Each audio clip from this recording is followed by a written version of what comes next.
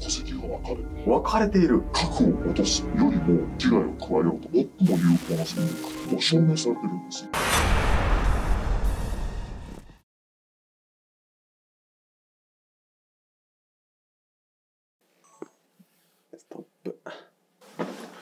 小安田インマイルームへようこそ。3夜目にして最終夜。本日はですね、小安田インマイルームアンコールスペシャル最終日のゲストということで、政府関係者 A さんにお越しいただいております。よろしくお願いします。覚えてますか？先月収録した時のことを。はい。うまく喋れるかな？なんか心配してましたけどね。なんのことはない。環境が一番高くて、なんと14人中1位、再生数にして今80万再生をたった3週間で突破しております。多分100万再生もね、時期に行くと思うんですけども、まあそれぐらい皆さんの中では非常に心に刺さったお話だったのじゃないでしょうか。ちなみに前回はですね、40分近くありましたかね。そうですね。もしかしたら50分ぐらいお話ししたかもしれない。ですよね。本当にやばいことだけね、15分ぐらいカットしたんですよ。あまりにもね、みんながちょっと動揺しちゃいそうな内容だったんで、まだ聞けるギリギリの範囲でお届けしました。アンコールスペシャルということでアンケートを取りますと、政府関係者 A さんがぶっちぎりまた1位で、また出てほしいということだったんで、ぜひよろしくお願いします。お願いします。今日はどんなお話をしてくださるんでしょうか？アンコールスペシャルということで、事前にどんなお話をすればいいんですかね？って、ちょっとお話しさせていただいたときに、何でもいいですみたいなね。なんかね、僕、その、どこのインマイルームのゲストさんにもそうなんですけど、この話をしてくださいって言っちゃうと、事前にめっちゃ考えてくるんですよ。原稿を書いてきたりとか。僕、それが狙いじゃなくて、本音で聞きたい都市伝説が今回テーマなので、自分の聞きたいことはある程度イメージしてるんですけど、相手にはそれを悟られないようにしてます。自由に喋っていただいたらいいんですけども、だとしたら、前回収録の時に、おそらくカットされてしまったところを掘り起こしてお話を進めていければいいのかなと。前回はね、日本が海外に、こればらまきとも言える、いろんなお金を配っていることとか、意外と知らない日本とサウジアラビアの国の関係とか、いろんなことがですね、軽めにっていうのは変なんですけども、皆さん知っていただいたと思うんですけど、今日はそれ以上のことがはい、第三次世界大戦についてお話ししましょうか。いいんですか？そんなテーマやっちゃって。はい、第三次世界大戦はもう始まっているとも言われていますし、もう終わってるんじゃないかという説もあったりするんですね。僕はね、真っ只中派なんですよ。武器を使った重火器の戦争だけではなく、情報戦であったりとか、そういうものも僕戦争だなってやっぱ思うんで、でフェイク動画とか作られてしまって、情報をこう洗脳させられたり、始まってますよねって言われたらその通りって思っちゃうんですよね。それはすごく鋭いですね。これについてじゃあもお話をしていこうかなと思っているんですけれど、第三次世界大戦ってそもそもいろんな説がありますと。今のね、情報戦という話もありますし、核戦争のお話もあったりだとか、古代に遡ると一体ある文明が核戦争で滅びたんじゃないかという話があったりだとか、いろんな話もありますけれども、ちょっとここでお話ししていきたいのが、本当に核戦争が起きるのか、そして核戦争だけが本当に人類にとって最も驚異的な武器、戦争のツールなのかと、そういったところをちょっと疑いの目線を持ちながら話をしていこうかなと思います。ちなみに、核のお話をする上で、核不拡散条約っていうのをご存知ですか？もちろん学校で習いますもんね。そうですよね。主に世界で核保有を認められている国っていうのは、アメリカ、ロシア、中国、イギリス、フランス、5カ国と言われているんですね。ただ、内々でと言ったらあれなんですけれども、実は持っている国もプラス4あると言われている。プラス4、4つもあるんですか？はい。それが、インド、かなり人口が増えている国ですよね。次がパキスタン。パキスタンは実は難民の受け入れが上位5カ国に入るぐらいに入れている。はいはい。次がイスラエル。かなり中東戦争の真っ只中にあります。これもあそこを持っていると噂されているんです。で、もう一つがお隣にある北朝鮮。日本人にとって身近というか、一番イメージしやすい国ですよね。で、この4カ国を加えて、持ってるか持ってないかは定かではないと言われてるんですけれども、一旦9カ国が核を保有していると、まあ、噂をされているんですね。そんな中で、今新たに核を持とうとしている国が実はあるんです。それがイランなんです。イラン中東の石油原産国です。私はもともと資源のある意味プロとしてお話を伺うケースが多いので、そういう話とかも聞くんですけれども、今、イランが核を持とうとしている。それに付随して、前回のお話でも、ここはカットされてしまったところなんですけれども、サウジアラビアもイランが核を持つなら、俺たちも持つという話をしているんです。日本っていうのは、サウジアラビアと一緒に火力発電、石油を燃やしても炭素が出ないよう仕組みというのを一緒に開発する仲間なんですね。サウジアラビアっていうのは、ドバイにある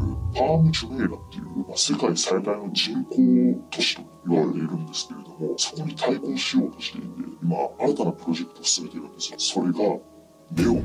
ネオムはい、ネオムっていうプロジェクトなんですけれども、それはおよそベルギー1個分と言われるぐらいの土地を使って、最先端の都市を作ろうという動きをされているんですけれども、言ってしまえば、ドバイとか最先端の動きを取る国に対して対抗していきたい野心をあらわにしているんですよね。実は日本の最新技術とかもサウジアラビアのネオンプロジェクトに関わっていこう。そういう動きをしていると。ただそうすると、サウジアラビアと仲の悪い国があると。どっかと仲良くするとどっかが拗ねたりしますもんね。それが前回外されてしまったアメリカなんです。アメリカとサウジアラビアは仲が悪い。アメリカと日本は仲がいいと言われている。うんそして日本はサウジアラビアと仲がいい。この三つどもえの関係ですね。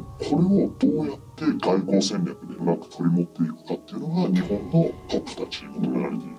局面がちょっと話を戻していくと、イランが10カ国目の核を持つ国として手を挙げている。するとサウジアラビアも手を挙げ始める。そうすると核保有国がたくさん増えてくるというのが近未来で見えてくるような情勢の話なんです。うん。ただ、ここであえて差し込みをするんですけれども、核は本当に最強なんですか？考えたこともないですよね。学校に習うように核の話ってたくさん出てきますよね。第二次世界大戦とかでも日本に2発の核が落とされるということで核兵器っていうのは世界で最も脅威な兵器だというのが私たちに刷り込まれているお話だと思うんです。疑いの目線で見ていこう。前回のお話でもあったように核兵器って何かがないとそもそも作れないし動かせないんですよ。それは資源ですよね。なので資源というのは全ての根幹を司っているので、それをもとに戦争が始まる。そして核でさえも資源がなければ作れません。そういったところを考えていくと、ある国がですね、今虎視眈々と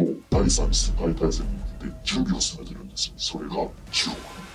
聞いて納得できますけど、いよいよ現実的なお話だな、ちょっとゾッとしましたね。前回のお話でも中国というのは日本に対してハードパワーという側面でアプローチをかけてきてるというお話をさせていただいたんですけれども、もう少し中国について資源の面からお話をしていきますと、中国は資源関係で3つの特徴を持っています。1つ目が石炭の生産量です。世界全部の石炭生産量を合わせたうち、その生産量の50%は中国が握ってるんですよ。めちゃくちゃ握ってますやん。石炭っていうのは安価なんですよね。汚染物質もたくさん出してしまう。炭素も出してしまう。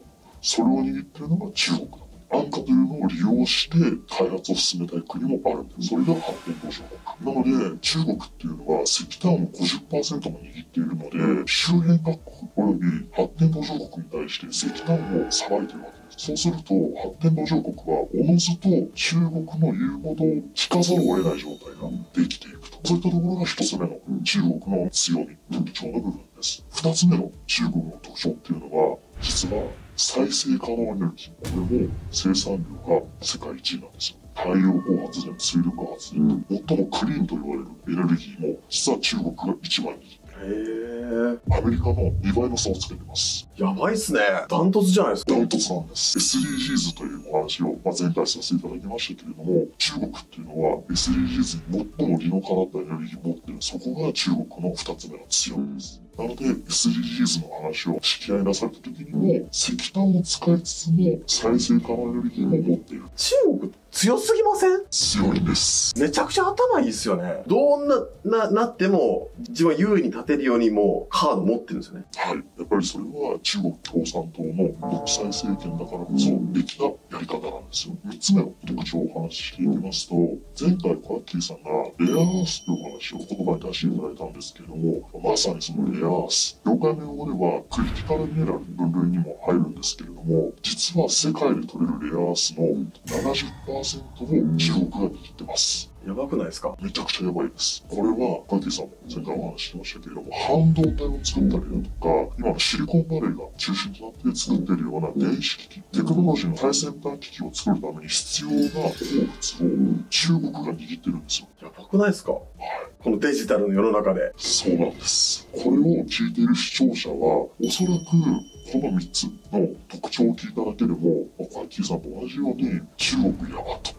いや、それやばいですね。だから、持ってるカードにさ、差がありすぎる気がするんだよね。しかもここれは調べてる人はわかるんですけれども、一般的にニュースではこんなに深掘りして教えてくれないんですよね。なので、もしかしたら視聴者の方でも初めて聞くという方もいらっしゃるんじゃないかなと。思ったよりもちょっとやばい手札でしたね。で、実はこれだけじゃないんですよ。まだあるんですか？はい。資源とは違う側面で、予期知識としてちょっとお伝えしていきたいなと思ってるんですけれども、前回、ハードパワーとソフトパワーという話をさせていただいたんですけれども、実は今も軍事業界の中では、第3の力について注目されてます。それが、シャープパワー。もしかしたら初めて聞く方もいらっしゃると思うんですけれども、これ何かっていうと、世論操作、工作活動のことを含めて、シャープパワーってへ。ソフトパワーっていうのは文化的な攻め方ということで、かなり好意的な側面で、あの国はすごくいい国だねって、前回の話で言うと K-POP、すごく好きだから。いう感情。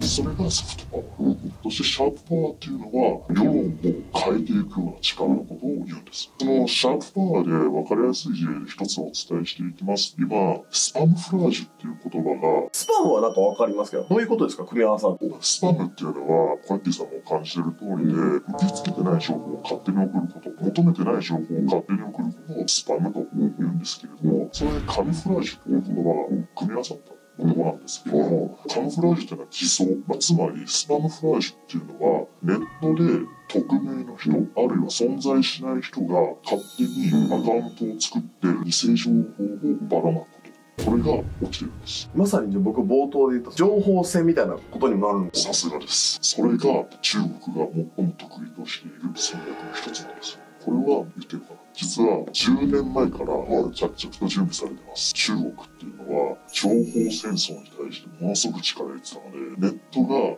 民主化されるって気づいた瞬間にこの手口を考えてたんですよ。今こうなってることはすでに計画されてたってことですよねその通りです。最近、これは気づいてる人は気づいてるんですけども、緑色をしたまとめ記事のメディアとかいろいろとありましたよね。今なくなりました。なくなりましたよね結構好きだったんですけどまとめ記事見るの実はいろいろとスパムフラージュっていう側面で裏で動いてるところがあるんです。つまりスパムフラージュっていうのはある国がシャープパワーっていうのを駆使するために使う戦略なの。利害関係とか社会の見え方っていうのを考えたときにやられすぎるとそのメディアって廃止せざるを得ないんですよ。まあ SNS で大手たくさんいますよね。メタとかうんはいそういったメディアっていうのも、実はスパムフラージュの餌食にされてしまったら、公平性が保てないんです。なるほど確かに分かんないですもんねイーロン・マスクさんが X に介入しました。はいはい今、スーパーアプリを作るっておっしゃってます。このスパムフラージュの観点でも、いろいろあると思いますか確かにそういうことが考えられてきますよねっていうのもちょっと含めて、アメリカと中国の関係性も考えていくと、まあそういった側面もありますよ。何が本当か分かんなくないですか？普通にシャドーバンとかも都市伝説レベルでしたけど実際にイーロン・マスクが買収したというシャドーバンはあったとか都合のいい記事を上にしてたという事実も明らかになった以上は僕たちが普通に出てくるおすすめのコンテンツっていうのも意図的に出されているものだったりとかいろんなことが情報操作されててもおかしくないですよね小池さんってさすが都市伝説を扱ってるだけあって、すごいですね。まさにその通りだ。今の中国のお話をここまでしてしまうと、中国強すぎると弱点はないのかと。なさそうに思えますけどもう積んでるというかそうですよね。あるんです。今話せる範囲だけで2つあります。1つがインフラ整備。インフラを整備するはい、2つ目が人権。ここが中国の今弱点と言われているから先の話っていう YouTube 上で目をつけられると、それこそスパムフラージュの対象になる可能性があるんですけれども、もしかしてここは使われてないかもしれませんが、もし流れたということは、すごいことを皆さん知ってしまったということですよ。中国を倒すためにインフラ整備と人権の側面から話を進めていこうと思うんですけれども今アメリカが中東戦争関わってますよね。イスラエルの問題。に実は内々ではユダヤ人の部分が関わってるんですけどもほとんどユダヤ人の問題っていうのは対立国同士ではそこまで大きな問題になってないんですよ。アメリカは別な側面からあの問題を引き起こし始めてるんです。よ何かっていうと難民問題あれを波及させようとして今動いていると言われているんです。そこが中国の人権問題の話に変わってくるんですけれども中国は戸籍が分かれて分かれている。はい。それは農村戸籍と都市戸籍っていう2つに分かれて。これももしかしたら差別用語なので、あまり言える言葉ではないんですけれども、昔首脳交渉ありましたよね。歴史の教科書に習いますね。はい、アパルトヘイトでは中国はいまだに農村戸籍と都市戸籍で明確に身分が分かれているんです。名前だけ聞くとね、差別してる感じには聞こえませんけど、なんとなくイメージがね、わかりますよね。そうなんです。農村の方たちっていうのは都市への移動が原則制限かけられて。ええー、それおかしくないですか？逆はいけるんですか？逆もいけないんです。逆もいけないんだ。なので所得格差がものすごいことになってるんですよ。人口比率の話なんですけれども、中国って約14億人人口がいると言われているんですけれども、この比率どう思いますか？え、どれぐらいなんだろう？ちょっと大げさに言うと、7、3とか。いい線いってます。すごいです。実は農村戸籍の方は10億。10億？じゃあ4億が都市戸籍とか。はい。僕思ってる以上に比率が高かった。ものすごいことになってるんです。ほとんどが農村戸籍。そうなんです。っていう現実を抱えているんですよ。これってアメリカが SDGs のを主導で進めたって話を前回しましたけれども、SDGs 的に見て、これってどうですか？どうなんでしょうね？微妙なとこじゃないですか？そうですね。まあ、一般的には SDGs から見ると、これって良くないです。そう考えていくと、アメリカは明確にソフトパワーで攻めてるのが分かりますよね。で、アメリカは難民問題を引き起こし始めてるっていうお話を、まあ、先ほどさせていただいたんですけれども、何がしたいかっていう話を深掘っていきます。中国の弱点として、インフラ整備の話をさせていただきました。これどういうことかっていうと、人口がある都市に集中し始めると、インフラが壊れるんですよ。電気の供給とか、いろんな側面で問題が出てくる。そこの部分が今中国の欠点の一つだと。SDGs から見ると、難民問題っていうのは良くないという話が、あ、ります。これもうちょっと学術的なお話をしていくと、ダイヤ理論っていうガイア理論ってあの、地球は生きているっていう生き物であるっていうことですよね。そうです。ジェームズ・ラブロックさんが提唱しているのはまさにその通りで、地球は生きている。その話からいくと、実は人間っていうのはウイルスなんじゃないかっていう。あこれも結構有名ですよね。風邪をひいたら、ウイルスを退治するために熱で倒すから体温が上がる。だから発熱するんだよっていうのと同じように。ただし、SDGs の観点人間をウイルス呼ばわりするっていうのがあんまりよろしくないです。例えが適切ではないっていうことですよね。そうなんです。で、なおかつ、今の時代って、二つの考え方がこうリードしていて、一つはアントロポセンっていう考え方なんですよ。これ人新性って言われるんですけれども、人が地球環境に対して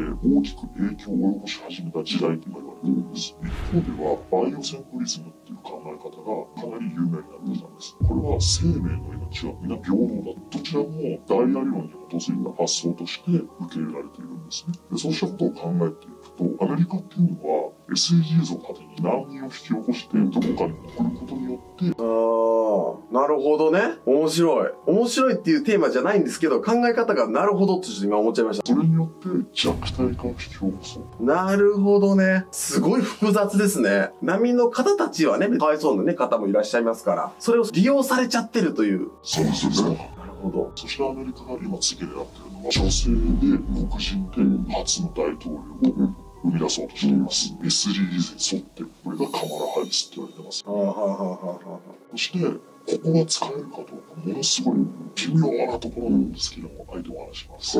カマラ・ハリスに絡んでます？これは今さすがに P 入ったんちゃいますか？これすごいですね。とあるね、日本の某宗教団体が今出たんですけど、全然つながりなんて見えてこないですよ。実はここが絡んでいるということです。やばすぎませんか？なんで？それはここでは言えないです。なぜ言えないかというと、この YouTube 自体がアメリカを持っている。ということは、発言自体がアメリカに不利になりすぎると、さすがに良くないと判断したの。うわ、こやスタナイト案件でございます。で、トランプ大統領って言いまして、はい。自国優先主義を貫きまして、うん確かに。SDGs に結構絡むと思いませんかああ、確かにその通りですね。難民を受け入れる前に自国優先主義っていうのを前面に押し出す。グリーンカード制度っていうのが作れるんですよ。居住してもいいけれども、賛成権あげない。明確に区別をつける法案っていうのを通し始めてるんですよ。アメリカって常に先を見て手を打ってる国だから改めて見えてきますよね。そして中国の話と戻ってくるんですけれども、インフラに欠点があるって紹介させていただきました。人がある都市に集中して集まると、インフラとして見ると、かなり需給状況が難しい局面に迫られる。ほうほうほうほう。どれぐらいのエネルギーが必要なんだ。その予測が読めなくなってくる可能性があります。で専門的に言うと、デマンドレスポンスっていうんですけれども、人が使う量をあらかじめ予測して利用発電しましょう。まあ、そういった仕組みが、この資源の業界ではあるんですけれども、スマートシティみたいな考え方っていうのが、実は中国っていうのは、まだ整理が追いついてないんですよ。だから、ある意味で、農村と都市で人の移動を検視していたり、資源がそこにも絡んでたんだ。そうなんです。そういうところで、まあ、中国っていうのはインフラの懸念を抱えているというところが見えてくると。で、ここからちょっと怖い話を一個させていただきます。なんでしょう？前回、日本にまあ侵略があるという話をさせていただきましたと。もしですよ、中国の切り札として考えている戦略を教えます。はい。農村人口10億人、切るっていう発想が中国にあるんですよ。切るって？どういうこと？じゃあ話していきますね。チャイナタウンを作りたいって話が前回ありましたよね。もし中国がある国に人を送れるような環境になった場合、中国のインフラの弱点を解消できるし、豊かな資源を享受できるような戦略って、これしかない。それは農村人口を10億人を世界にばらまく。そういう切り方なんだ。なるほどね。さすがにダークな切り方は出ないただし、送ることはできる。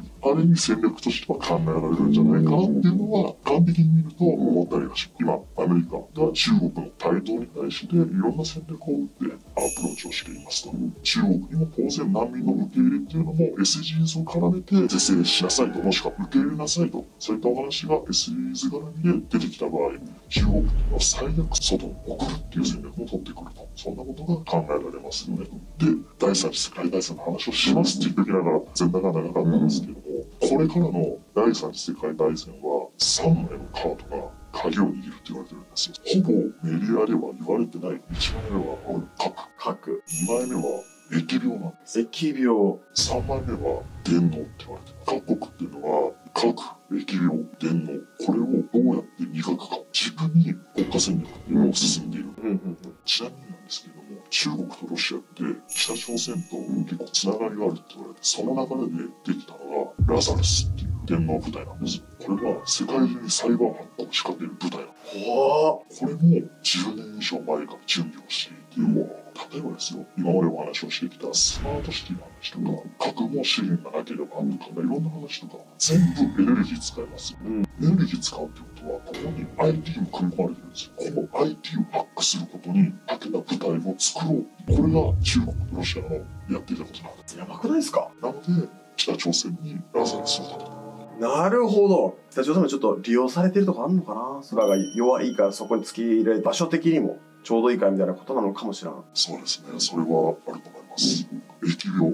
これはコロナです。なるほど。全部心当たりありますもんね、言われたら。いやいやとはならないですもんね、今。これは言ってもいいかわからないところですけれども、もしですよ、核を落とすっていう発想よりも、もっと早く人間に危害を加えようと思ったら、最も有効な戦略ってもう証明されてるんですよ。その実験がコロナウイルス。あれ実験やったんすか？もうどんだけね、あれに僕たちは苦しめられたか。あれで実験。最悪っすね。まあ、いろいろと業界の分野で言うと、リモートワークがとか、いろんな側面がありましたけれども、やっぱりいろいろと情報を付け合わせをしていくと、コロナウイルスによって、どれだけの感染拡大で何がどれくらい影響を受けるのかっていう指標ができたと思うんです。はいはい、確かに。あとは殺傷能力が高ければどうなるかって話だ。ということは、疫病っていうのは、もしかしたら核よりも有効な戦略として認知された可能性があるんですよ。もう文化そのものを変えちゃってますからね。そうなんです。疫病をもしコントロールできる時代が来た、そんな国ができたら、これは驚異的な兵器として成立します。これは脅威ですね。ということが考えられます。うんうん。核の話とか、疫病の話とか、電脳の話とか、いろんな話が出ましたけれども、日本は何してるの実は日本も準備しています。それはレーザー砲です。レーザー砲？急になんか SF チックなアニメみたいなことになってきましたけど。実は防衛省がレーザー砲っていうのを開発をしていて、実戦配備できる状態が整ったんですよ。へー。ワンピースでいうところのね、キッドみたいな感じですね。電磁砲って書くやつですよね。はい。で、レールガンができると何が強いかっていうと、今までのような銃弾とか爆撃、ああいうものよりも低コストで連射ができるんです。例えば、迎撃部隊に対して撃ち落としができる。これはまだやったことがないので、未確定要素ですけども、例えばミサイルが撃たれました。うん。レーダーで感知しました。うん即座にレールが落ちた。うんそうすると、もしかしたら爆撃の被害を最小限に抑えることができる。あ、それはそうですよね。そういったことも日本っていうのは今予算をつぎ込んでできるようになってきたと。すごい。そういう意味では、核とまでは言わないですけど、うん銃撃とか、そういったものに対しては防衛が張れるようになってきた。すごいですね。だから核を持つことを選択せずに違う方法で防衛することをちゃんとやっているということですね。まあ、疫病と電脳については今強化中です。ホワイトハッカーの制度を各国も進めていますけれども、電脳にも対応できるように今着々と準備を進めていますと。まあ、そうすると、例えば、もしかしたらこれを見ている視聴者の方は、国会で何に予算が通ったかっていうのは、あまり興味がない方もいらっしゃると思うんですよ。でも、あえて今日怖い話をさせていただいてますけれども、日本っていう国を守るために何に予算を使うべきかを真剣に問わなければいけない時が来てると思う。それこそ前回の2028年の問題もそうですし、どうやって日本という国、あるいは日本人の資産を守っていくか、このために政治がどうやって動いているのかっていうのは、選挙の一票がね、若者の一票があまり有効じゃないと、一人の一票が何も変わらないっていう話も中には説としてありますけれども、そうではないと。みんなで協力していったらいいじゃないですかと。うん。みんなで、まあ、議論をすることはすごくいいことますので、今日のお話で私の話が全部正解かというと、それは違います。はっきり言います。ただし、参考にはなると。一つの材料として扱っていただければすごく嬉しいですし、これをもとに、まあ、視聴者の皆さんがどう考えるか、そして政治に対して、これからの私も含めて、皆さんの未来に対して、どういうことを考えていくべきかっていうのは、どこかで議論をしなければいけないんじゃないかな。そんなことをちょっと今話しながら思いました。ありがとうございます。